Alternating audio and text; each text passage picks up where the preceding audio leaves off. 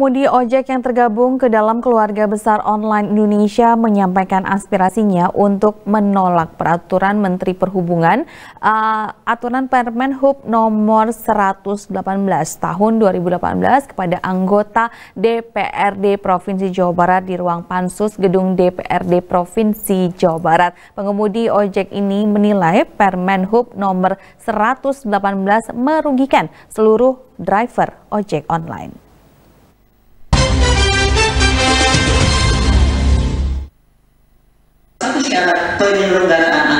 Pengemudi ojek online yang tergabung dalam keluarga besar online Indonesia menyampaikan aspirasinya untuk menolak peraturan Menteri Perhubungan atau Permenhub nomor 118 tahun 2018 kepada anggota DPRD Provinsi Jawa Barat di ruang pansus gedung DPRD Jawa Barat. Pengemudi ojek online ini menilai Permenhub 118 merugikan seluruh driver online. Koordinator Keluarga Besar Online Indonesia Adrian Mulya Putra mengatakan pengaturan dalam Permen Hub nomor 118 tahun 2018 sangat tidak berimbang, yaitu lebih dari 80 persen pengaturannya kepada driver online dan dinilai merugikan para driver online.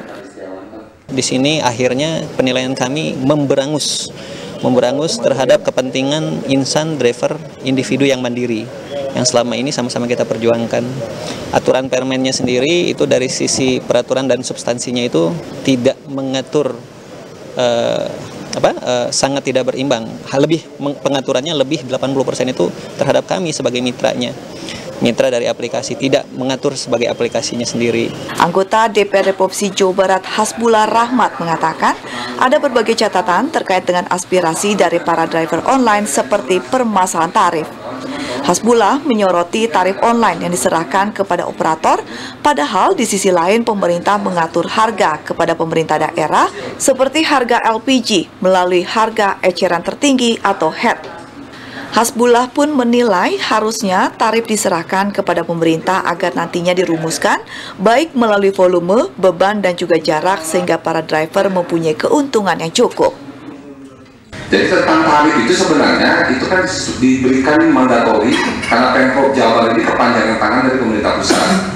Tentu harusnya kan diserahkan ke daerah. Daerah memanggil dewan kawan-kawan untuk merumuskan. Itu kan dilihat dari volume beban dan jarak. Sehingga kawan-kawan itu happy bekerja karena apa? Ada lebihnya. Sementara itu, anggota DPRD Provinsi Jawa Barat lainnya, Dadi Rohanadi menilai para pengemudi ojek online Indonesia telah mempermudah kita sebagai bagian dari solusi di tengah kemacetan. Terkait dengan permasalahan Permen Hub nomor 118 tahun 2018, Dadi menjelaskan ada rencana revisi oleh Direktur Perhubungan Darat.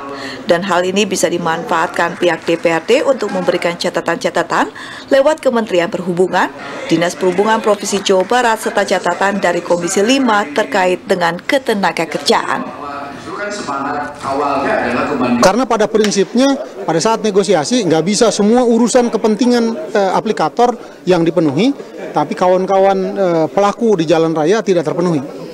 Nah itu kita berharap sebetulnya pada saat penyusunan itu yang dijanjikan oleh eh, Direktur Perhubungan Darat katanya akan dilakukan eh, revisi atau apa pun sehingga terbit peraturan di atas eh, TM itu yang saya berharap betul kepentingan kedua belah pihak yang bernegosiasi itu diaplikasi sehingga ketemu di jalan tengah.